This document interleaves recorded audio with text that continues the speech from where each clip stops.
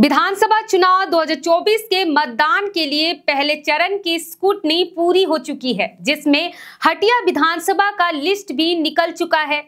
इस स्कूटनी के बाद दो प्रत्याशियों का नामांकन अस्वीकृत हुआ है, जबकि 28 प्रत्याशियों का नामांकन स्वीकृत किया गया है। नामांकन अस्वीकृत, प्रत्याशियों में फरहाना खातून, निर्दलीय और पूनम सिंह जो राष्ट्रीय लोक दल से इस चुनावी मैदान में उतरी थी। हालाँकि अब इन दोनों का नामांकन अस्वीकृत कर दिया गया है।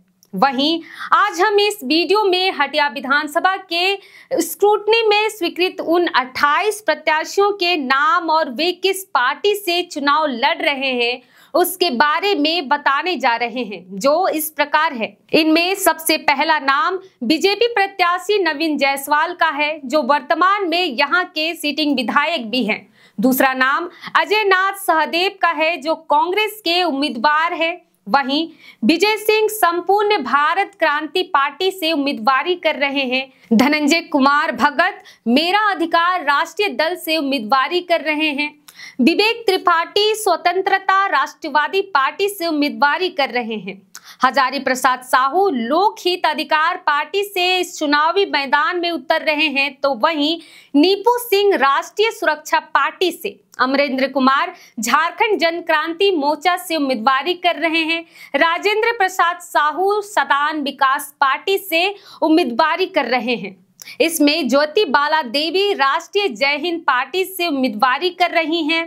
Adarsh Kumar National Congress Party से उम्मीदवारी कर रहे हैं। वहीं इसमें भारत आदिवासी पार्टी से कुंद्रा सिंह मुंडा भी उम्मीदवारी कर रही हैं। खुशवाहा, विजय कुमार महतो, जो कि जोहार पार्टी से उम्मीदवारी कर रहे हैं।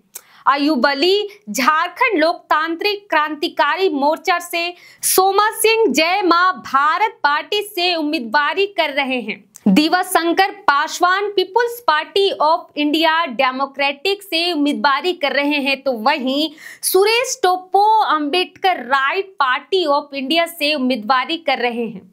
वहीं इसमें कुछ निर्दलीय प्रत्याशियों के नामों में अलविन लकड़ा भरत काशी, अभिषेक कुमार, श्रीवास्तव, नगमा रानी, यादराम साहू ओम शंकर गुप्ता, अविदेश कुमार एनुल लंसारी, गौरव प्रियदर्शी, बीसु तिर्की, दिवाकर प्रसाद साहू भी इस हटिया विधानसभा के इस चुनावी मैदान में शामिल हैं।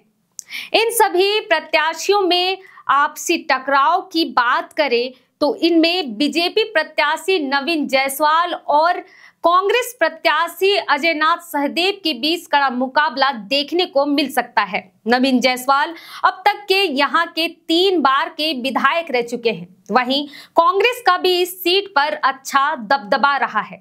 इस बार के चुनावी मैदान की अगर हम बात करें तो कुछ निर्दलीय प्रत्याशी भी हैं जो इनको कड़ा टक्कर दे सकते हैं। इन नामों में अलबिन लकड़ा और बीसु तिर्की के साथ साथ इनको मुकाबला देने के लिए बाप पार्टी प्रत्याशी कुंद्रसी मुंडा भी शामिल है। वहीं आज के लिए इतना ही, फिर मिलते हैं। ऐसे ही चुनावी अपडेट्स को लेकर। वीडियो आपको कैसा लगा? वीडियो अच्छा लगा तो लाइक एवं शेयर करना ना भूले। जोहार।